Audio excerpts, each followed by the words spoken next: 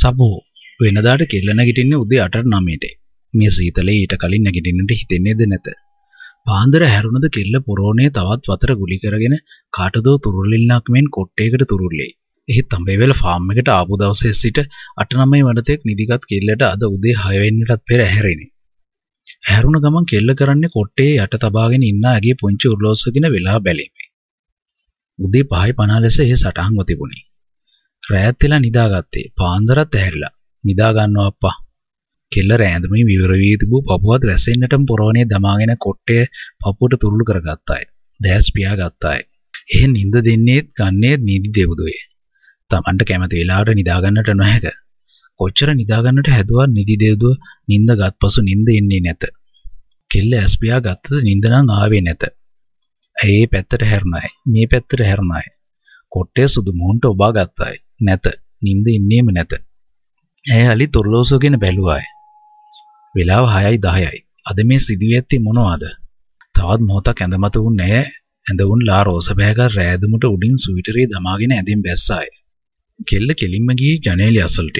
ඇයේ විවර කරත්ම තද සී ඇයේ විවර කරත්ම තද මීදුන් සීතලස් සමග මහා පුදුමාකාර සුළඟක් ආවේ. ඊටත් පසු ඈතින් එන හඬක් කෙල්ලට ඇසුණි. සබෝ කෙල්ලගේ පපුවේ පවා හිරිකඩු පිපිණි සීතලට නොවේ. ඇහෙන්නක් ඇහෙන්නක් වැනිවූ ඒ හඬට. මේ මහා සීතල පාන්දර තමා අවද කළේ මේ ඇමතීමද? සපෝ තාමත් පතනේ ඈතින් එහාට ඇසේ. ඉර උදා වී තිබුණේ නැත. ඒත් පතනේ ඈතින් ඈතට දිස්සන මීදුම් පියාපත් මත ලා රිදී පාටක් ඇත. සීතල සුළඟ කෙල්ලගේ සුදු මුහුණ මතට ආවේ දඟකාර කොල්ලෙක් අහන්නේ නැතුව දුන් හාදුවක් විලසෙනි. අද මේ පාන්දර පුදුමාකාරයයි ඇයට සිතුනි. අඹේ වෙලට ආ දවසේ සිට අද දක්වා මේ තරම් පාන්දර දවසක්වත් ඇහැරී නැත. ඇරත් මේ හැටි පාන්දර හැරී කරන්නට දෙයක්ද නැත. යලිත් ඇඳ බදාගෙන නිදන්නට තරම් හිතක් නැත. සපු ඇඳ පාමුලෝ ඇගේ සැන්ල්ස් දෙක දමාගෙන කාමරෙන් පිටට ආවාය. ගෙදර ඔක්කොම නිදිය. සබු සාලේ විදුලි පහන දැල්වා සාලේ බිත්ති වූ ඔර්ලෝසුන් වෙලා බැලුවේ තමාගේ ඔර්ලෝසයේ වෙලාව වැරදි ඇද්දයි සැකේට. නැත වෙලාව හරිය. තාම හද්දා පාන්දරය. කවුරු නැගිට සිටී නැතත් පාන්දර පහට ප්‍රේම හැරෙන බව සපු දනි. කෙල්ල කුස්සියට ගියේ දෑත් බැඳගෙන සීතලට පපුව වසාගෙන. ප්‍රේමාව මහ පාන්දර කෙල්ලෝ දෙක ඇස් ලොකු කරගත්තාය. සපු ලස්සනට සිනාසුනාය. මෙන්න වැඩ රෝස මලක් වෙලාසන පිපිලා. ඒකනේ ඇහැරෙද්දි හයටත් නෑ. නිදාගන්න බැලුවා බැලුවා නිින්ද යන්නෙම නෑ. මේ වුණාමයි. කෙල්ල කිව්වේ කට ඇද කරගෙන. වෙන කාලෙට නොවන දේවල් මේ කාලෙට වෙනව සුදු බේවි. ඒ පාර පාන්දර හැරිච්ච එකටත් උඹ පදයක් හදපන්. කුස්සිය පුටුවේ ඉඳගෙන කකුල් දෙකම වැස්සෙන්නට එය උඩටගෙන රෑඳුම දවාගෙන කෙල්ල කීවාය. කෙල්ල එහෙම ඉඳ ගන්නට යද්දියාගේ දෙපා සම්පූර්ණයෙන්ම විවර විය. ප්‍රේමා සිනාසුනාය. කොල්ලෙක් ඉන්න තැන එහෙම ඔහොම ඉඳ ගන්න ගවම උස්සන්න එපා. ඔක්කොම එළියේ. මෙතන ඉතින් කොල්ලෙක් නෑනේ. හරි හරි. පුදුමයි වේලාසන ඇහැරුණා. ඊ නිදාගත්තෙත් 12ත් පව් වෙලානේ. ඒකනේ ප්‍රේමා මටත් පුදුමයි. මේ වගේ දේවල් ඉඳලා හිටලා වෙනවා. ඇයි ඒ? දෙයියෝ තමයි දන්නේ. ෆාම් එකේ කදිරවෙලු ෆාම් එකේ කිරිලෙදුනුන්ගෙන් දොවාගත් මුල්ම කිරි බෝතල් දෙක ගෙනවිත් පස්ස දොරෙන් ඇතුල්ලිය. ආ සුදු බේබි උදෙන්ම තමා ඇහැරිලා. good morning සුදු බේබි. morning වේලු. වේලු ගියපසු ප්‍රේමා යලි සිනාසුනායි. අද හැමෝටම පුදුමයි. මොන හරි පුදුම දෙයක් අද නම් වෙනවමයි. ඉකි ගෙඩිය මට කෝපි එකක් දෙන්න ප්‍රේමා පිස්සු කියවන්නේ නැතු. හදනවා හදනවා. ප්‍රේමා කෝපි එක දෙනතුරු සබෝ පුටුවට උන්ඩි වී ඇය දෙස බලා වුණායි. මුළු ජීවිතේම මේ ගෙදරට දිය කරන ඇය ගැන කවදාවත් ඇති නොවුණු කැක්කුමක් ඇයට ඇතිවිය. මෙච්චර පාන්දර හැරෙන්න එපා ප්‍රේමා. ඔයත් ටිකක් දවල් වෙනකල් නිදා ගන්න. කෙල්ල මෙහෙම කියන්නේ ආදරයට බව ප්‍රේමා දනි. අනේ බේබි පුරුද්දට ගිහින්. ආසාවට මට හත වෙනකල් නිදා ගන්න බෑනේ. මෙච්චර උදේ නැගිටලා තනියම මේ කුස්සියේ උයද්දි පාළු නෑ. මං පාළුවත් එක්ක යාළු වෙලා ඉන්නේ. තනිකමට මං ආසයි. ප්‍රේමට කවුරු හරි හිටියනම් ඔහොම කියන්නේ නෑ. ජීවිතේට කවුරු හරි නෙමෙයි බේබි ඕන. එහෙනම් මවපු කෙනෙක්. සමහරුන්ට දෙයියෝ මවනවා. සමහරුන්ට මවන්නේ දෙවියන් තමාට මව ඇත්තේ කාවද? පතනේ සිට තම නම කියා අමතන්නේ ඔහුද? මටත් මවල නැතු ඇති. අනේ වස්තුවේ. ඇයි එහෙම කීතන්නේ? මවපු කෙනෙක් ඉන්නවා නම් එන්න එපයි. ඇයට නොදෙන එසේ කියවිනි. කිව් දේ බරපතල බව කෙල්ලට වැටුනේ පසුවේ. ඒ ගැන පසුව ඇයටම ලැජ්ජා සිතුනි. එහෙත් ප්‍රේමායේ විහිළුවට ගත්තේ නැත.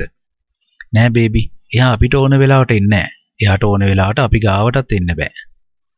හැයි දෙයියෝ වෙලාවක් නියම කරනවා. එදාට කොටුපවුරු මේ කඳු පලාගෙන එයා එනවා.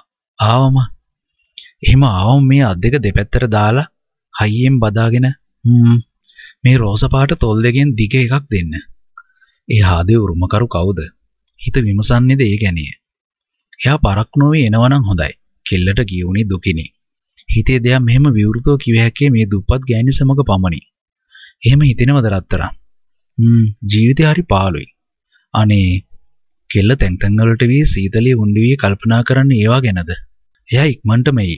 කොහොමද ප්‍රේමා කියන්නේ? මට හිතෙනවා. ඉන්පසු දෙන්නාම සෑහෙන වෙලාවක් යනතෙක් කතා කළේ නැත. හිත කොහෙදෝ දුරකයයි. ආයෙත් එයි. ආයෙත් දුවයි. උදේට මොනවාද ප්‍රේමා උයන්නේ? කෙල්ල ඇස්සේ වෙන දෙයක් අහන්නට ගොස් ඒ ගිලගිනේ. ඉන්දියාප්පා හදලා සැමන් කරි හදලා පොල් සම්බෝල හදනවා. තා මොන හරි හදලා ඕනද? ඉපා ඒක හොඳයි. ඇයි ඉන්නේ මේ සිහින් ඕන බව ප්‍රේමා දැනුන්නයි. ඇත්තරම කෙල්ලගේ ජීවිතේ ගලාගෙන යන්නේ පාළුවෙනි. මේ පතනේ ඇත්තේ සීතල පමණි. රස්නයකට දෙයක් නැත. රස්නෙට හදන තේකක් පවා විනාඩියෙන් සීතල වෙයි. එහෙත් ආදරය එසේ නෙවෙයි. හිම වැටෙන සීතලෙදිත් ආදරේ උණුසුම්ය. මේ සීතලට අවශ්‍ය හීටර්වත් ජර්සිවත් උණු කෝපියවත් නෙවෙයි. කාගේ හෝ ආදරයකි.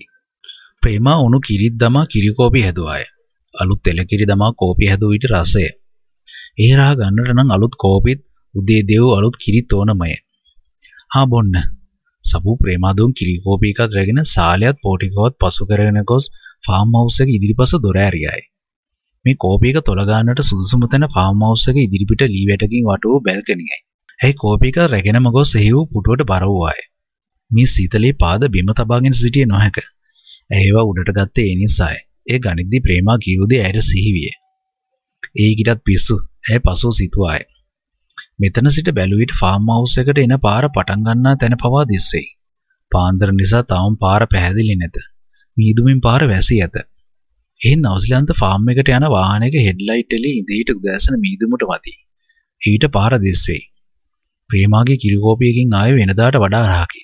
වෙනදා මේ කිරිකෝපියක බොන්නේ කාමරයේ ඇඳමත ඉඳගෙනේ. එහෙම් බොද්දි නොදෙනන රහක් අද මේ එළියේ ඉඳගෙන බොද්දි දෙනේ. වටේම මීදුමය. ඊටත් එහා තවත් මීදුමය. පොඳ වෙමින් පොඳ වෙමින් ඈතට ඈතට යන මීදුම් වලට එහා කිසියෙක් ඉන්නක් වෙනිය. ජීවිතේට කවදා හෝ කවුරු හෝ එන බව සපූද දනි.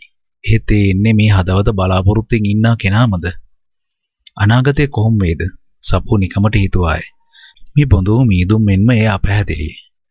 තාත්තා අම්මා සීයා තමාගේ අනාගතය ගැන මොනවා හිතාගෙන ඉන්නවද? සපෝගේ වැඩ කරන කාලෙක නම් මෙහි ඉන්න බෑ. දවසක් තාත්තා අම්මා සමග පවසනු සපුව අසාගෙන උන්නාය. කිල්ල තාම පොඩි. තව ටිකක් කොහොම ඉඳපු ආවේ. අම්මා කියද්දී සපෝගේ හිතට සැනසීමක් දැන්නේ. එහෙත් තව වසරක් දෙකක් යද්දී අම්මාද තාත්තා කියන දෙයට විරුද්ධ නොවුණු ඇත. එදාට මේ හදවතේ ඉන්නා කෙනා කෙසේ වෙතත් දෛවයේ බාර දෙන කෙනා සමග යන්නට වෙනු ඇත. සපෝ තාමත් මද අඳුරින් නොබිදුණු ඈත පතනය දෙස බලාගෙන සිටුවාය. සාගර කඩපලට ආවේ ගැහිමිනි. සීතලට හුරු වූ පසු ප්‍රශ්නයක් නොවෙනව ඇත. එහෙත් මේ සීතලට ලේසින් කෙනෙක්ට හුරු විය නොහැක. මුළු කඩපලම පාළුවේ. පාන්දර නිසා කඩපලේ ඇත්තේ නිස්කලංක බවකි. තැන් දෙක තුනක් එළවලු ලොරි නවතා තිබුණි. යන්තම් මිහිදුන් යායෙන් මිදුණු සාගර කඩපලට ආවේ උණුවෙන් කෝපි එකක් හෝ බොන්නටය. එසේ නැතුව මේ සීතල පළවා හරිනු බොරුය. කඩපලේ කොනක ගසක් යට තැනෝ කුඩා පෙට්ටි කඩයක් බඳු තැනක් විවෘතව තිබුණි. එළවල් ලොරිවල රියදුරන්ද ලොරි නවතා හිමින් උන්න ඔය. සියල්ලොම එළියේ කැලෑ දරවලින් දැල්වූ ලිප්පට රොක්කේ උන්නේ සීතලට වියෝති. එළියේ ගස යට වූ ලිපේ වතුර හැලියක් පැහිමින් තිබුණි. එතන උණුවෙන් රොටි පුච්චා දෙනු ලැබිනි. රොටි පිච්චෙන සුවඳ ඈතටම ආවේ. සාගරට නැති බඩගින්නක් ඇතිවිය. හැමෝම උන්නේ සීතලේ ගල් ගැහියේ. කඳුකරේ මිනිසුන්ගේ සාමාන්‍ය ස්වභාවය මේ පාන්දරට වුන් නිහඬේ. දැල්වෙන ලිප මත විශාල යකඩ තැටියක පොල් රොටි පිච්චමින් තිබුණි. සාගරද ගොස් පොල් රොටි දෙකක් ගෙන ඒ මැදට ලුණු මිරිස් ටිකක් දමා ගත්තේ. බඩගින්නේ හැටියට පොල් රොටිය රත්තරන්ය. මේ සීතලේ උණු රොටිය උණුව ඒ තරම් වැදගත් නැත.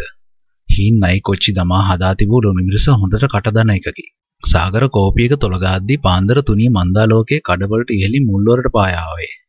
කඩපලේ දිමල් ගෑනු කෙනා හදා දුන් සීනි කෝපියක පුදුම රසය. තාම වෙලාසන වැඩියේ. එහෙත් මේ කඩවලට වී ඉන්නටද නොහැක. සාගර කඩපලෙන් මෑත්තී පතන් බිම් මැදින් වැටුණු පාරට වැටුනේ ඈතට ඈතට විහිදුණු පතන් බිම දෙස නෙත් යොමාගෙන. තවමත් මීදුම් පහව ගොස් නැත. ඇතම් විටක පතනයට මීදුම් පොකුරු පිටින් පහත් වේ. ඒ වෙලාවට හිතෙන්නේ අහසේ ඉන්නා බඳු හැඟීමකි. පතනය සෑහෙන ඈතට යනතුරු මිනිස් පුළුටක් නැත. මිනිස් කටහඬක් නැත. අක්‍ර දහස් ගණනක් ඈතට යනතුරු පෙනෙන්නේ නිල් පතන් බිම් පමණි.